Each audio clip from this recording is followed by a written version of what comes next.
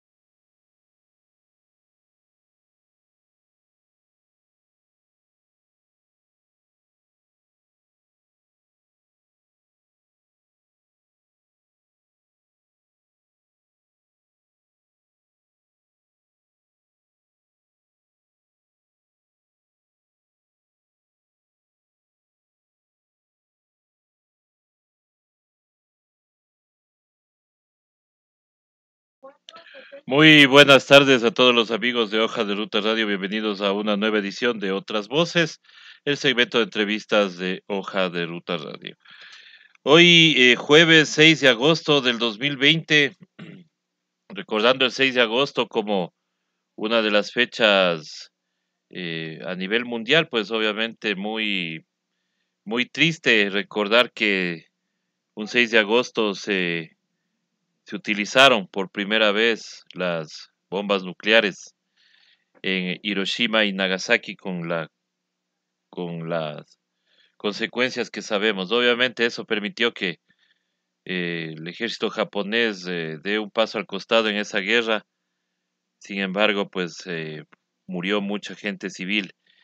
También acá en el Ecuador hay que, de ingrata recordación, también el asesinato en 1875 de Gabriel García Moreno, un 6 de agosto, eh, del, en el, como es en el siglo pasado, pues ese asesinato. Y bueno, ahora 6 de agosto también, chuta, no quedándonos atrás nosotros, eh, un caldero explota en, en una empacadora de atún en Manta. Al parecer también hay fallecidos, hay heridos estas noticias, qué pena tener que darlas, pero es lo que está sucediendo en este momento en nuestro país. En este país eh, que ahora ya estamos más preocupados de que va a haber fútbol, estamos felices porque ya va a haber fútbol, estamos felices porque ya nos abren las playas, pero bueno, ¿qué dicen los médicos? ¿Qué dice la ciencia ante este tema? Doctor, muy buenas tardes, bienvenido nuevamente a Hoja de Ruta. Damos la bienvenida al doctor Richard Pinargote.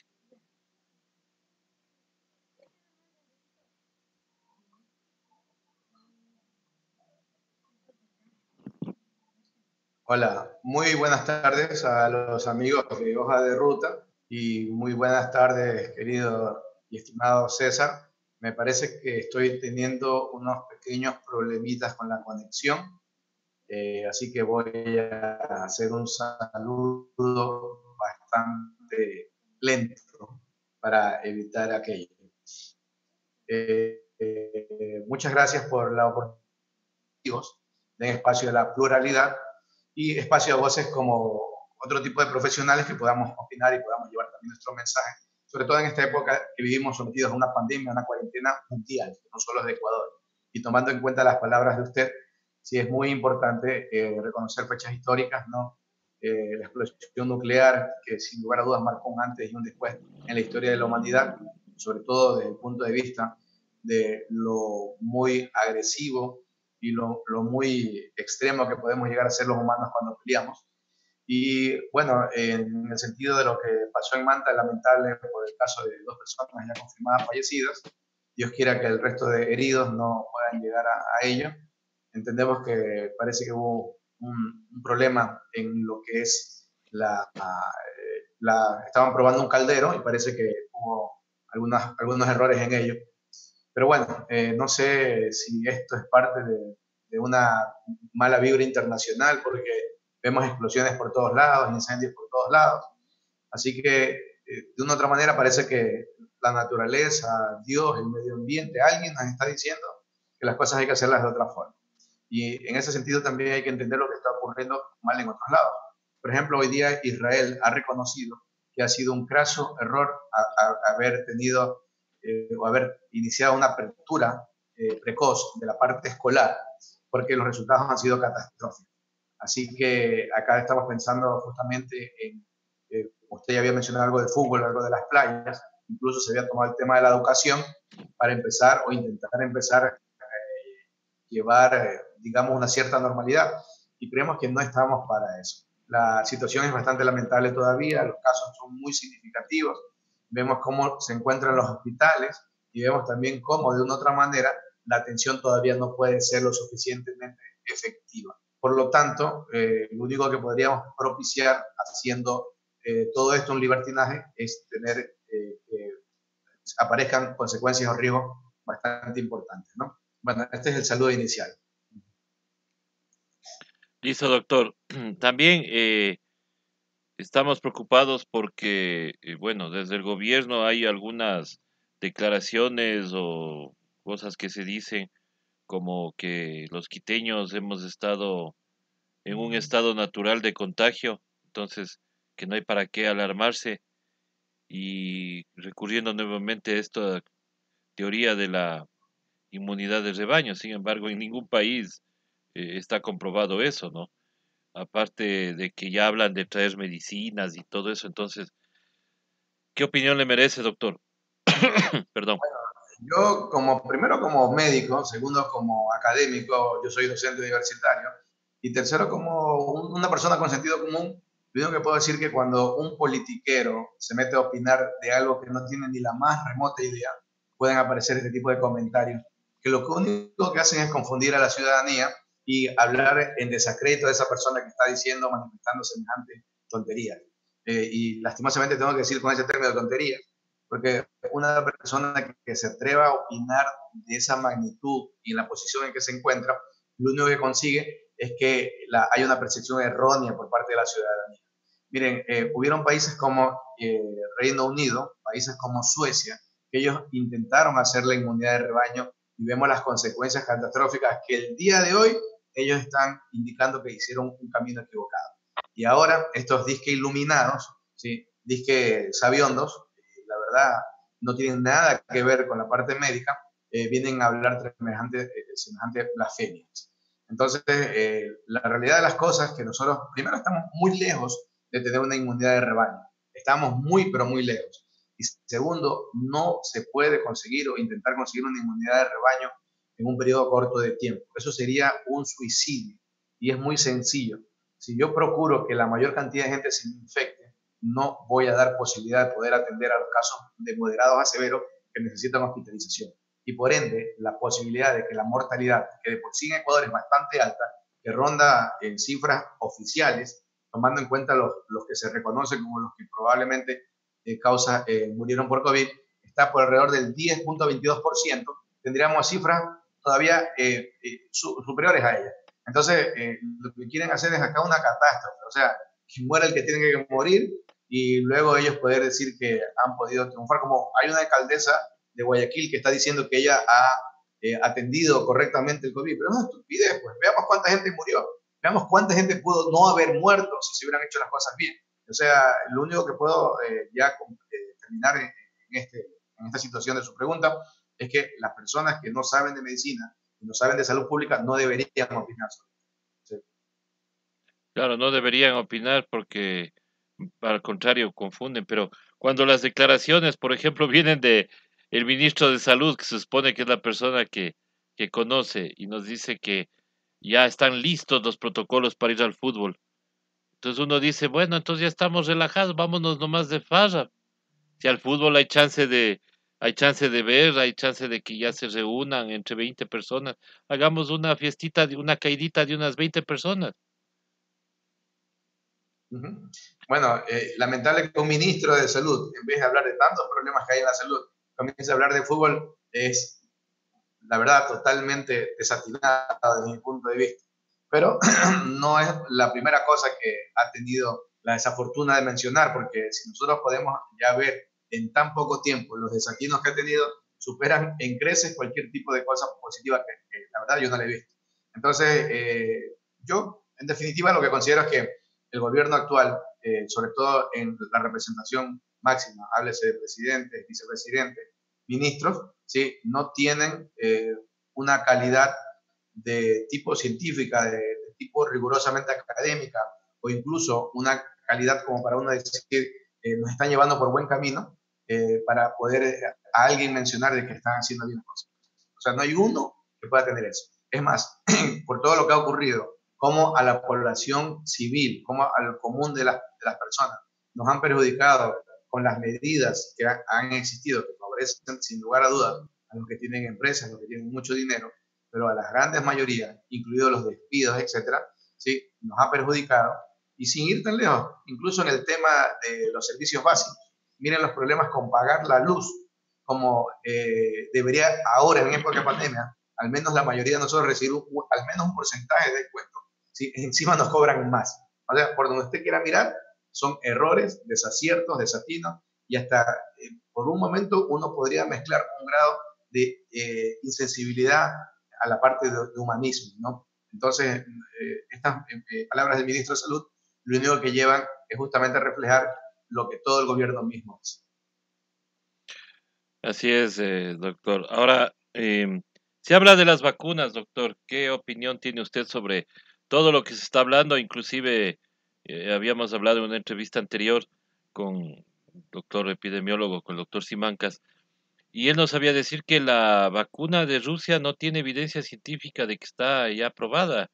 Eh, puede ser, decía, que como estamos en un mundo más pegado hacia el, hacia el occidente, pues posiblemente no se conozcan, pero que se ha revisado y no hay eh, eh, tal estudios. Entonces, eh, se pierde esa esperanza de que el 10 de agosto la vacuna rusa salga a producción masiva. ¿Qué conoce usted, doctor? Bueno, lo del tema de las vacunas hay que ver lo que ocurre a nivel mundial y realmente lo que sucede directamente con esto es una guerra político-económica. O sea, lo de las vacunas realmente es un posicionamiento geopolítico, de una otra forma, eh, para muchos países también una forma de lucrar de una manera exagerada, y en esas guerras siempre van a existir bandos, definitivamente. Entonces, al momento, lo real es que existen más de siete vacunas que ya han entrado en fase 3. En este momento, más de siete, teníamos hasta hace dos semanas eh, apenas tres vacunas en fase 3 pero ya en este momento tenemos más de siete vacunas en fase 3, de las cuales la más promisoria, por lo que se conoce, es la inglesa, la que lleva el laboratorio Moderna, que de paso Bill Gates es financista de ese laboratorio y el gobierno norteamericano también. Entonces, entendamos la situación, porque esta vacuna va a recibir directamente el gran número de, dosis hacia la parte americana y ellos verán a quién le entregan, a quién le venden, a precio, qué condiciones, etcétera. O sea, entendamos esa situación esa vacuna, siempre y cuando también demuestre efectividad.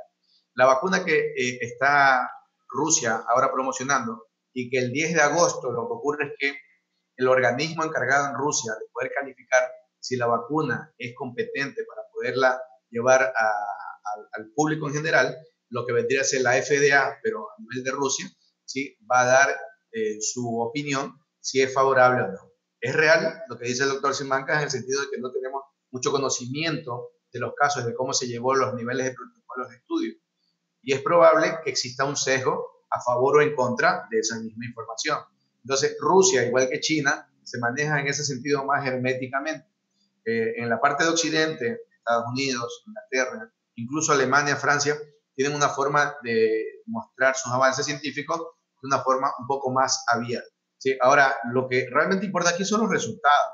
Si la vacuna rusa demuestra que la población tiene una respuesta inmune bastante favorable, es independiente lo que ocurra, porque incluso la vacuna de Moderna, que está llevando adelante y se está promocionando mucho, está demostrando que tiene en los pacientes eh, como problemita de presentar una eh, carga de síntomas bastante intensos, fiebre, malestar. Y si bien es cierto que hay algunas vacunas que lo producen, pero parece que puede haber un porcentaje algo interesante de gente que padece. Entonces, si usted le ofrecen una vacuna que tiene esa posibilidad y otra vacuna con la misma efectividad que no la tiene, obviamente uno ya podrá elegir. Ahora, si usted le ofrecen una vacuna que cueste, eh, por ponerme un, ejemplo, 100 y otra que cueste 10 y ofrece la misma efectividad, también ya sabré por dónde ir. O sea, son algunas condiciones. Y ahora, el tema de las vacunas, para mí, lo que va a hacer simplemente es una guerra política, económica, y lo que vamos a estar nosotros involucrados, o sea, nosotros los países como Ecuador, es ver cómo hay el desarrollo de esta guerra. Lo que sí quiero decir es que Ecuador no debería, no debería estar esperanzado en una sola posibilidad, en una sola fuente. No debería. Ecuador debería tener alternativas en cuanto a, las vacunas y, y, alternativas en cuanto a países. O sea, si llega la, la inglesa, que tiene capital americano, por un lado, si llega la rusa, si llega la china, si llega la de Mongolia, la de Israel, la de Líbano, la de Palestina, lo que sea, y efectividad y accesibilidad, yo creo que deberíamos seguir ese camino. Si, no sé si se me escuchó lo último porque veo que se me congeló la imagen. No, no, sí, sí, sí se le escuchó, todo tranquilo, todo normal. Doctor, y... Eh, entonces, lo, si es para ratificar que lo de las vacunas va a ser una guerra política y económica. Eso póngale nombre, apellido ahora, ¿sí? Porque detrás de eso son eh, inversiones y es un negocio de miles de millones de dólares. Solo es sencillo este cálculo. Digamos que la vacuna costara 10 dólares, que probablemente no cueste eso, cueste mucho más, pero que cueste 10 dólares. Solo un país que tenga Ecuador, que somos 17 millones de, de habitantes, y que le dejaran y que consiguiéramos 10 millones de dosis, Estamos hablando que en Ecuador fueron un negocio de 100 millones de dólares, solo en Ecuador. Entonces, este problema es a nivel mundial. A nivel mundial, digamos que al menos estén involucrados de los 7 mil millones de, de habitantes, 3.500 millones de personas para la vacunación. Entonces ya puede ir tirando números de cuánto significa el negocio de las vacunas. Claro. Ahora, doctor, ¿qué es esto del COVAX Facility? El COVAX Facility, que es un tema para probar las, eh, las, ¿cómo es las vacunas. ¿Usted cómo le ve ese tema? Mire, este, cuando una vacuna eh, está entrando en fase 3, ¿sí? los laboratorios tienen que utilizar una gran cantidad de individuos voluntarios, individuos que quieran participar para ver qué tan efectiva es la vacuna. Porque yo ya probé la seguridad, ya probé en cuanto a las dosis eh, que podría darme en cuanto a la producción de anticuerpos, etcétera. Ahora yo necesito tener un gran marco de punto. Entonces, hay algunos países que se anotan en protocolos eh, y sus ciudadanos sirven para experimentar, se podría decir el término, con las vacunas y eso eh, hace que el país, en compensación, reciba también patentes de la vacuna, consideraciones especiales en cuanto al costo, etc. Eh, habrá personas que estén en contra completamente de eso, porque va a decir, ¿cómo va a experimentar como ciudadano? Cómo experimentar con esto, cómo son vacunas. Y acuérdense que hay un grupo de gente que incluso es antivacuna, ¿sí? Y, bueno, son las cosas, yo decía ayer, ese grupo de gente que es antivacuna, son aquellos que paradójicamente sí vacunan a sus perritos, por ejemplo, pero son antivacunas con los humanos. Pero en todo caso, eh, existe esa posibilidad de que los países se abran. Desde mi punto de vista, en, en, la pandemia que vivimos, en las circunstancias que estamos, sería lo mejor que Ecuador tuviera esos convenios para que al menos, al menos de tres laboratorios diferentes pudiera acá. Porque ojo que las personas que se involucran en la vacunación son personas voluntarias que se les hace conocer todo y que incluso ellos protocolizados deberían recibir ciertas prebendas en cuanto a la vacunación, en cuanto a la atención a su salud e incluso una compensación económica. Normalmente es así. Entonces, por donde usted lo mire, más bien sería algo positivo. Pero siempre y cuando esté protocolizado todo a nivel local. Por ejemplo, el ministerio, asumo yo que debería tener claramente la ruta de lo que se debe hacer en caso de que se firmen estos convenios para que automáticamente haya seguridad para los ciudadanos que pudieran participar en eso. A mí me parece positivo, viendo lo que estamos viviendo, ¿no? El anuncio de que se van a importar medicamentos como el Remdesivir eh, puede causar también algún problema en la, en la, en la población porque puede haber esa, ese exceso de confianza, ¿no? De que ya viene un fármaco que, que puede servir y no, no será que podemos caer en lo mismo de la hidroxicloroquina, por ejemplo. Por supuesto, todo este tipo, sigue tan lejos, ni siquiera llegando a fármacos, con los guantes. Vean las personas que utilizan guantes, y yo pongo ese ejemplo porque es la gente más descuidada que hay en el momento de poder eh, hacer su control. Nuevamente, está demostrado que para, yo para poder contagiarme, yo necesito que eh, el virus entre o por mis ojos o fosas nasales, etc. O sea, no hay otra manera, no entra por la piel. Entonces, yo pudiera con mis manos agarrar y tocar cualquier superficie que esté llena de virus ¿sí? Pero mientras yo no me toque la cara, no me voy a contagiar. Entonces, la gente que anda con guantes, como crea una falsa percepción de seguridad, ¿sí? Enseguida andan con guantes, pero se rasca la cara. O sea, no sirve de nada. No tengo que proteger mis manos, tengo que proteger mi cara.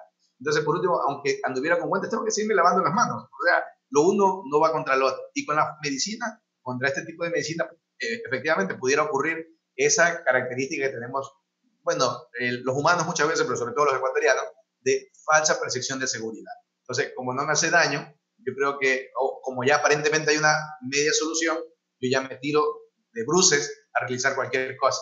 Entonces, el hecho de que podamos tener recibir, creo que la Embajada de Estados Unidos de, de, caridad nos ha dado unas cuantas dosis, ¿sí? De caridad y lo anuncian como que fuera la cosa más maravillosa. que me parece una ridiculez pero también los rusos eh, están entrando con su Favipiravir, que es el, el Avifavir de ellos, y que ha demostrado la misma efectividad que el Remdesivir, con la gran diferencia el Remdesivir en Estados Unidos, el tratamiento completo está alrededor de 2.300, 2.500 dólares hacia arriba en Estados Unidos, pero obviamente allá las aseguradoras, es un negociado, todo eso. Entonces, acá no sé cuánto sería el costo, pero barato no ha de ser. Pero al menos tenemos la alternativa. Lo que sí es que aunque haya una cura completa, ¿sí? No podemos confiarnos porque hasta que eso llegue, hasta que eso llegue, la gente se puede contagiar. O sea, mientras no tenga la posibilidad que toda la población tenga acceso a algo, sea vacuna, sea cura, etcétera, no puedo confiarme en ningún momento. No hay que confiarse. ¿Cuáles serían las recomendaciones, doctor, para esta semana que estamos, bueno, iniciando con usted y finalizando a nivel normal? este, hay cosas interesantes que yo creo que la gente debe tomarlo eh, no confiarse, pero sí tomarlo al menos de una forma más positiva. Primero, eh, yo le digo desde el nivel hospitalario, yo trabajo en un hospital y como yo soy imagenólogo, tengo que ver las tomografías que hacemos a los pacientes infectados. Y le puedo asegurar que, por ejemplo, entre abril y mayo, los pacientes que, si me llegaban 10 infectados, 8 estaban muy severos en cuanto a su presentación de imagen. ¿Sí? Pero el día de hoy, la verdad es que es al revés. Tengo 8 que están relativamente bien o muy bien y quizás habrá uno o dos muy afectados severamente. ¿Qué significa? Que ahora, como ya estoy tratando a los pacientes, yo ya tengo un, lo que se denomina en medicina un algoritmo de diagnóstico y de tratamiento. Y por ende, yo ya sé cómo llevar de mejor forma y de mejor manera el tratamiento a los pacientes y en qué momentos y en qué circunstancias. Entonces, la utilización de fármacos, muchos de ellos incluidos antibióticos, incluidos corticoides, incluidos un número de cosas, ha hecho que la cifra de los pacientes que fallecen por COVID-19 vaya reduciéndose al porcentaje que probablemente deberíamos estar nosotros. Debería ser. Sería una cifra alrededor de menor al 2 o 1%. ¿sí? Entonces, eso debería darnos un poquito de tranquilidad en la medida que los hospitales puedan brindar atención a esos pacientes. Ahora, nuevamente, volvemos a lo mismo. Si yo saturo, y obviamente no lo quiero hacer porque quiero hacerlo, sino porque me contagio, pero si yo saturo los hospitales, aunque yo sepa cómo llevar adelante y no voy a poder dar una respuesta. Y ahí vienen las complicaciones. Entonces, nuevamente, no podemos bajar la guardia. No podemos bajar la guardia. Y hoy por hoy existen grandes posibilidades de poder controlar incluso a los pacientes iniciales desde casa, ¿sí? con medidas básicas como, por ejemplo, controlar la respiración, la inspiración como tal. Incluso, a ver si lo tengo por acá, es que siempre lo tengo cerca, Incluso probablemente mucha gente ya en sus hogares ya tiene un pulsómetro o oxímetro, ¿sí? de cualquier marca, y que ahora, a buena hora, no son relativamente caros. Hay unos que cuestan 80, 100 dólares, pero hay unos que cuestan ya entre 30, 40, 50 dólares, de todo precio. Entonces, para una persona, eh, saber cómo está su saturación es bastante interesante. Estoy hablando de los contagiados, porque saber en qué momento esa persona necesita oxígeno ¿sí? y en qué momento yo tengo que llevarlo a un hospital, justamente para prevenir la saturación hospitalaria. Entonces, tengo alternativas. Y eso significa que la manera de llevar el COVID ahora es mucho más, eh, o mejor dicho, sería mucho menos ofensiva que, antes. O sea, si comparo el mes de marzo al mes de julio, que ya pasó, o a este mes de agosto, ahora pudiera tener un poquito más de tranquilidad en ese sentido. Pero no puedo tener tranquilidad mientras las, las cifras crecen abismalmente. Por ello, no podemos confiarnos, no podemos confiarnos y tenemos todavía que mantener nuestra protección. Solo el uso de la mascarilla y el lavado de manos ya eh, ayuda eh, de una forma exponencial ¿sí? la posibilidad de podernos contagiar, o sea, en este caso, no contagiar. Entonces, eh, sumado a este distanciamiento social, al escudo facial o cualquier otra cosa, ayudará mucho más. Entonces, no nos podemos confiar y lastimosamente hay que decirlo de esa manera, se entiende que el ecuatoriano promedio está viviendo una situación precaria, una situación angustiante por la parte económica. Gran parte de gente ha sido despedida y eso son las cosas que uno de verdad le, le enerva la sangre porque saber que en este momento de la parte estatal o gubernamental hayan despedido gente parece el acto, uno de los actos más viles que puede tener este gobierno es de, de miseria y de lamentación. Sin embargo, pese a todo ello, hay que recordar siempre que si uno no se protege y no protege a los suyos, ¿sí? de pronto se va a topar con la posibilidad de que la respuesta que uno esperaría en un hospital no sea la de acorde a eso. Así que no podemos bajar la guardia, no podemos confiarnos y nuevamente, aunque haya medicina o lo que sea, mientras no la tengamos al acceso de todos, no podemos pensar que este tema está superado. Mentalmente tenemos que pensar que hasta febrero del próximo año vamos a estar en circunstancias iguales. Que si la solución es antes, a buena hora. Pero mentalmente tenemos que estar programados que esto va a durar hasta febrero. Y pensar en las escuelas, la apertura de eso, sería una estupidez. Ahora estamos viendo lo que dice Israel y lo que ya nos comentó usted, doctor. Doctor, queremos agradecerle nuevamente por estar con nosotros en, en Hoja de Ruta. Siempre es bueno tener sus conceptos todos los jueves aquí en, en nuestro programa. Doctor, eh, ¿hay algo, mm, algo en particular que comentar para esta semana, doctor? Sí, este, me parece que la apertura de playas, no, eh, eh, bueno, acá de lo que se está conociendo, se comenzaría a dar desde el 10 de agosto al 19 de agosto. Entonces, si es que fuera realidad esto, el cambiar o, o, flexibilizar algo no significa que yo tengo que ir a desbordarme a hacer eso. Yo digo, por ejemplo, yo vivo en Puerto Viejo, que nosotros estamos a, 15 minutos de la playa. En nuestra playa se llama Crucita, 15 minutos. Ya, eh, eh, en, Quito, uno del valle a, la parte demora hasta 30, 40 minutos, imagínense. O sea, nosotros tenemos la playa mucho más cerca todavía. Pero eso mismo hace que seamos cuidadosos. O sea, no podemos exponer a nuestra familia. Porque así como piensa usted, ay, por fin voy a ver la playa, lo piensa todo el mundo. Y si todo el mundo hace lo mismo, a la larga lo único que está buscando es que haya una posibilidad de contagiarse. Entonces, independiente de que el gobierno, porque sabemos que toma muy malas decisiones, adopte cualquier tipo de flexibilización, usted mentalmente piense lo que es mejor o más favorable para usted y para los suyos. Así que hay que tener mucha precaución en él. Y la única recomendación sería eso. Independiente de la flexibilización, hagamos las cosas como si estuviéramos viviendo una cuarentena real. Listo, doctor. Entonces, a tomar las, las medidas pertinentes y a cuidarse, que es lo importante, y no estar haciendo caso de las cosas o relajarse. A veces las autoridades de gobierno se relajan nomás, para ellos todo está bonito, para ellos todo está lindo. Es más, ahorita estábamos leyendo que inclusive el señor Roldán vuelve a decir de que no paran las buenas noticias en el Ecuador. ¿Cuáles serán las buenas noticias para él mientras la gente sigue perdiendo trabajo, sigue perdiendo familiares y ya no hay oportunidades de seguir emprendiendo porque los préstamos de la CFN están exclusivamente para las grandes empresas y no para el ciudadano común. Eso nada más, eh, sí, doctor. Me imagino que él ha de ser tenedor de bonos y por eso hay muy buenas noticias para ellos, porque el resto de los comunes nada. Es más, hay un crédito del Banco del Pacífico para supuestamente reactivarse. Emprender. ¿Pero emprender qué? Pues emprender a, a, uno pegarse un tiro a la cabeza, porque la cantidad de cosas que le piden, uno presenta todo y le vuelven a prestar y eso, o sea, ¿Dónde está el emprendedor? Es una ridiculez, por Dios. Por eso hoy en el editorial vamos a hacer referencia a la frase célebre que el día de ayer nos dijo el banquero Guillermo Lazo.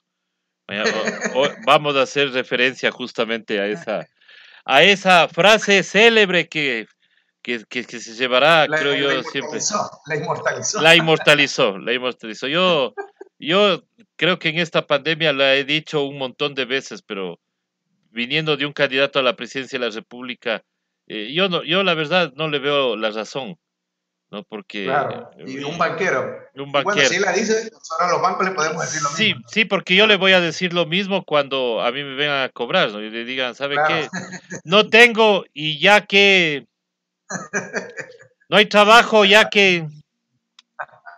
Exactamente. Entonces, bueno, eso ya veremos más noche en el editorial. Doctor, una buena tarde, muchísimas gracias. Saludos a todos los amigos. Chao. Saludos, gracias, doctor. Y nosotros ya regresamos. Ya viene Contracorriente al aire y sus cuatro al hilo. Luego estará diálogo abierto, luego más tarde eh, la candidata y al final el editorial. Muchísimas gracias y hasta pronto.